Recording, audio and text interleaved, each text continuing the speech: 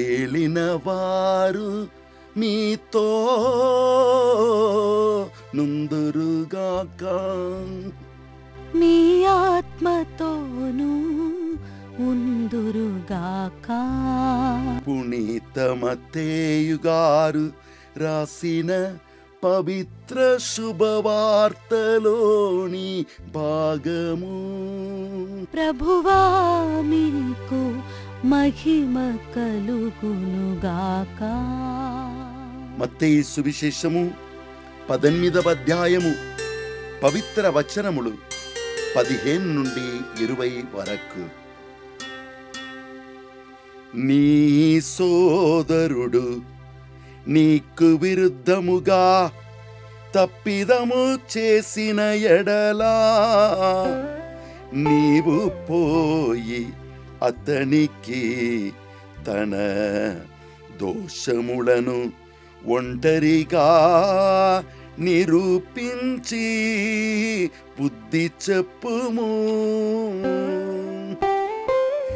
నీ మాటను అతడు ఆలకించిన ఎడలా వాణిని నీవు సంపాదించుకొనిన వాడవగుదువు.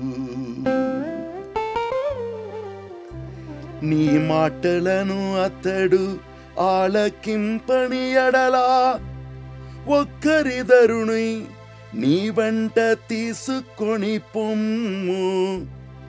ఇట్లు ఇద్దరు ముగ్గురు సాక్షులు పలుకు ప్రతి మాట స్థిరపడును అతడు వారి మాట కూడా వినని ఎడలా సంగమునకు తెలుపుము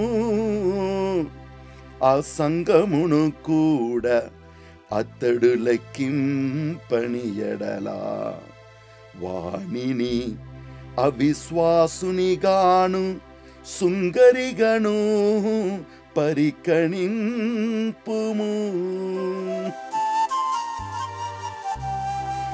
భూలోకమందు మీరు వేణిని బంధింతురో అవి పరలోకమందును బంధింపబడును భూలోకమందు మీరు వేణిని విప్పుదురో అవి పరలోకమందును విప్పబడునని మీతో నిశ్చయముగా చెప్పుచున్నాను.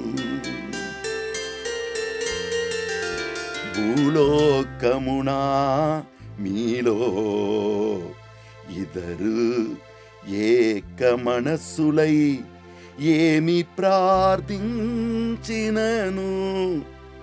పరలోకమందు నా తండ్రి వారికి అది ఒసగునని మీతో నిశ్చయముగా చెప్పుచున్నాను.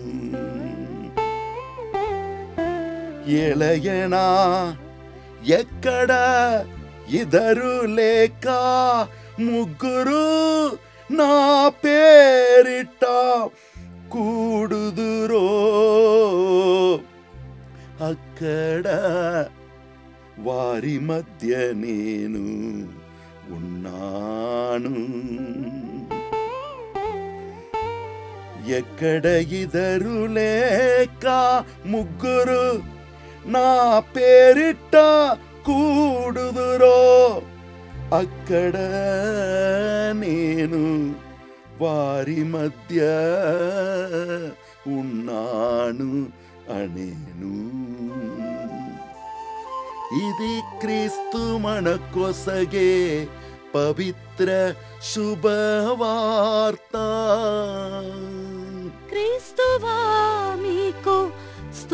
కలుగునుగా